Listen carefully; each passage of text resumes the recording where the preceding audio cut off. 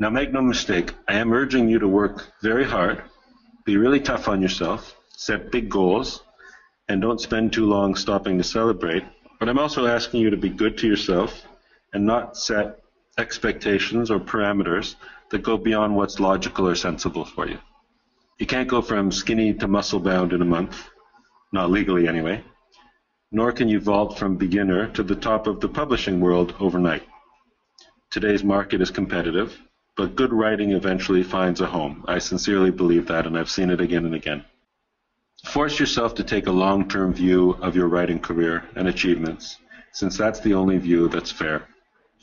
You'll note, in fact, that for this principle, the word fair appears in each of the three rules.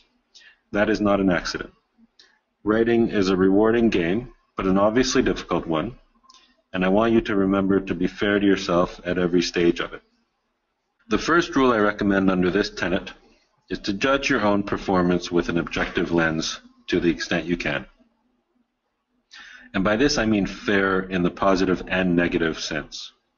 If you're doing great workouts and giving it your all, you know you are, from the sweat you get, from the pounds you shed, from the feeling afterwards.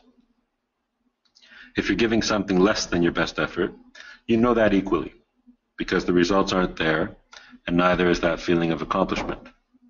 In exercise, it's the presence or absence of the endorphin high in writing, it's the presence or absence of that unique exhilaration that comes from having gotten the words down, even if they won't end up being the final words. Judge yourself right. If you're putting in the effort, acknowledge it well, reflect on the good habits you're practicing, and focus on maintaining them. If you're constantly hitting snags, try to analyze why and change some things until you land on a formula that seems to work for you.